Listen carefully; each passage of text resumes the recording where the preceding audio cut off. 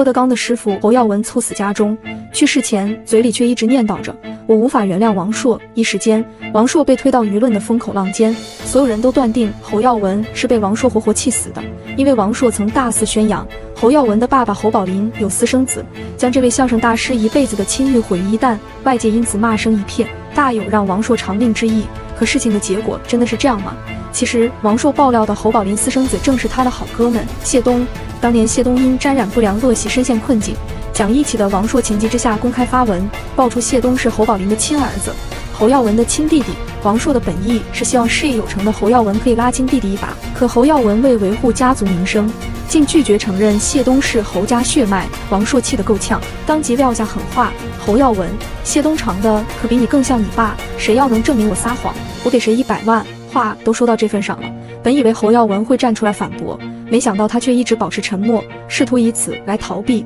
可这更加深了公众对侯家的质疑。顿时间，网上众说纷纭。就在大家争论不休时，突然传来侯耀文因病去世的消息，人们这才知道，原来侯耀文一直患有心脏病，猝然离世是因为突发心源性心脏病，硬要说是王朔气死的，多少有些不科学。都说死者为大，侯耀文既已离世，王朔也就不再纠缠。面对媒体的采访，他只淡淡的说：第一，侯耀文之死与我无关；第二，公众人物没有隐私，我愿意对我说的话负责。这番诚恳又不失大气的发言获得外界肯定。公众人物没有隐私的观点更是让人拍手叫好。在王朔看来，公众人物既然享受着明星光环，赚了普通老百姓一辈子都赚不到的钱，就不能再拿隐私权当借口，